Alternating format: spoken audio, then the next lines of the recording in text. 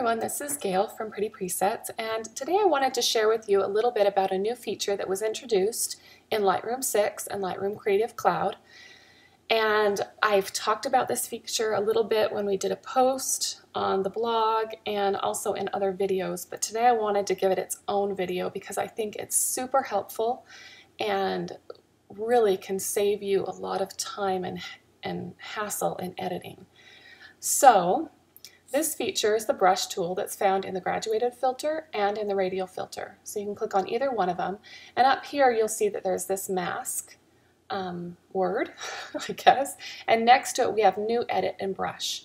So I'm going to access the brush, this new brush tool, right here by clicking on brush. Now I don't have any of these tools on my photo, so I'm going to add some. And then we're going to play around with how to add and subtract from your radial filters and your graduated filters with the brush tool. So let's come over here to our photo. Um, the first, I'm going to add two presets to this photo, two presets from the Luminance collection. I'm going to lay, layer them. And the first one that I'm going to add is Pink Sunright. Okay. And it will take a second because my computer's got a lot going on today. But here we go. I really like the pinkness of this um, color that it adds. The one thing that I don't love about this though is that it, I think it adds a little bit too much pink to his hair. Where his hair is already red, I think it adds a little bit too much.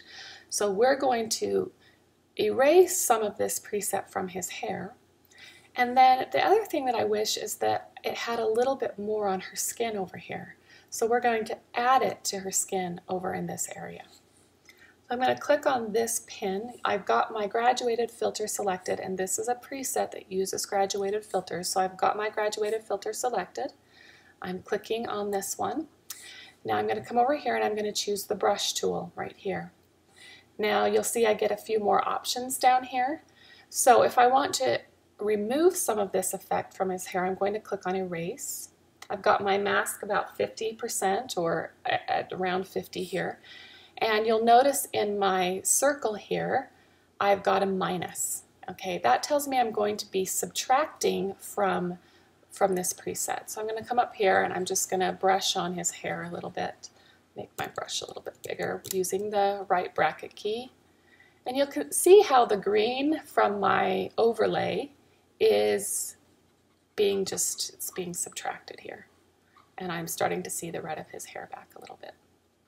Okay, and if I tap O, I can remove this overlay. And if I want to get it back, I can just tap, tap O again, and it will go back and forth for me. My overlay is green, yours might be a different color. So I think maybe also I'm getting a little bit of pinkish purple from this pin as well. So I'm going to come up here, I'm just going to do the same thing. I'll put my overlay back on so you can kind of see as it leaves. I'm just on the top part up here where I think it's got too much. I'm going to erase.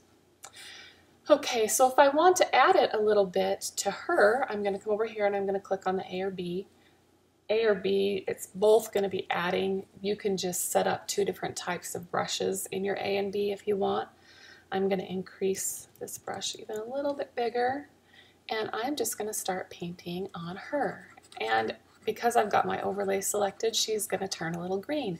But really, we're adding just a little bit more of that pink hue to her.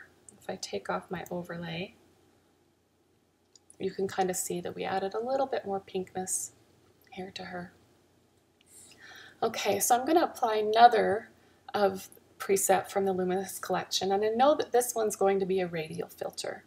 That's the reason I can layer them because they're not both graduated filters and they're not both radial filters. And you might ask, how do I know that? Well, I know that from just playing around with these presets. So it's always good to play around with your presets and get to know them. But I also know because I've clicked up here on these filters to figure out which kind they are. So I'm going to come over here. I'm going to choose Hazy Flare Left.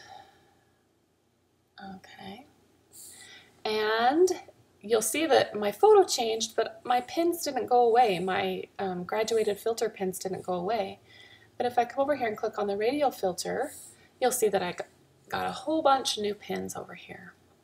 So um, I'm just going to click on any one of these pins really. Um, you can click around and, and choose and see what, what they're doing. But I'm going to add a little bit more of this to her, okay? So I'm going to go over here and choose my brush tool once again. I've got my flow set to about 50% here, and I want to add, so I'm choosing either the A or B brush, and I'm just going to brush on her. I don't have my overlay selected, so she's not going to turn green as I do this. If I wanted to see it more, I can choose my overlay by tapping the O key or coming down here and checking this box. Now, I'm about done with this photo. I want to do one more thing really quick, and I want to add a regular brush. So I'm not going to use the brush that's in my graduated filter or my radial filter. I'm going to actually select the brush tool. I'm going to choose the Add Warmth brush from the Perfect Portrait brush collection and I'm just going to add a little bit more warmth to her. I'm just going to brush on this warmth to her. And my flow is at 50%, so I'm going to have to do it a little bit. And really, I think that about there is perfect. Now, um, I'm going to tap the Done key here. I'm going to show you a before and after so you can see kind of how we've changed this photo. If you want to change the color of your overlay, this is something that I said I was going to show.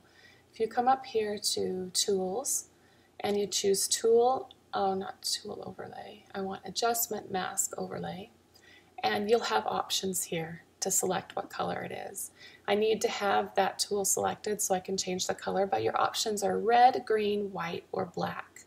And I usually use either red or green. I find them to be the most obtrusive, which is usually what I want when I want to see where I'm brushing. So anyway, I hope this helps you use that new feature in Lightroom 6 and Lightroom Creative Cloud. It's super helpful and I really did a little cheer of joy when I saw that they were adding that. Have a wonderful day.